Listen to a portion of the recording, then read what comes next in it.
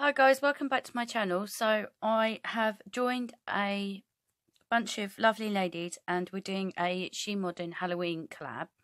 I will list everyone's information all down below, their Instagram and the playlist as well. So make sure you watch the playlist so you see everyone's manis. I sat down to edit my video and realised that I didn't record the whole beginning of it. So I started off with two coats of Sinful Colours uh, Snow Me White. So I started off with two coats of that. And the pigment powders that I used were orange glow in the dark glitter and purple glow in the dark glitter. And this is what they look like. They are so pretty. And you only need a little amount. You'll see in the video that you only need a small amount. And I also used foil glue. Okay right. So that's my intro sorted. So I do come back at the end of the video and we'll have a look what I created. Okay thanks. Bye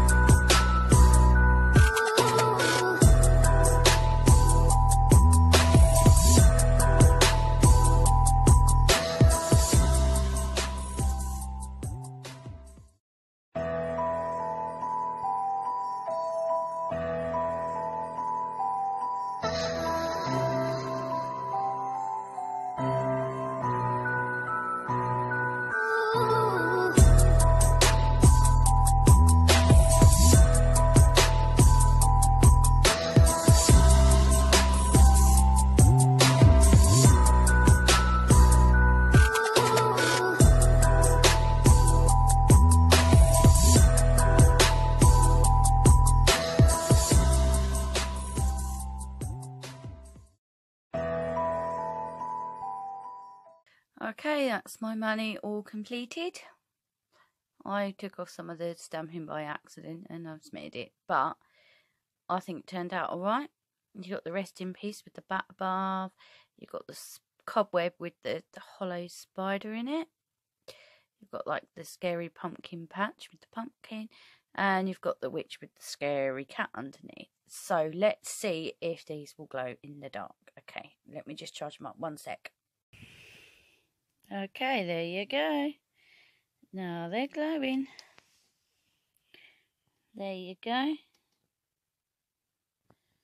Hopefully you can see that alright. And the purple's gone already. Hang on. Okay, there you go. I've charged them up again. Hopefully you can see. Hopefully you can. Well, it's not working very well. See, they're already going already. I can see them, but the camera's not picking it up. Okay, what I'll do is, and give me one sec.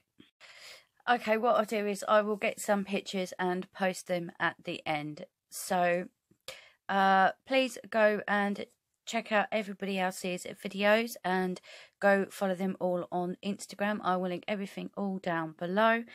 Um, if you enjoyed my video, please like, share, and subscribe, and click the bell to be notified when I upload next. Come and follow me on Instagram as well, and hopefully I will see you in the next video. Until then, take care. Bye.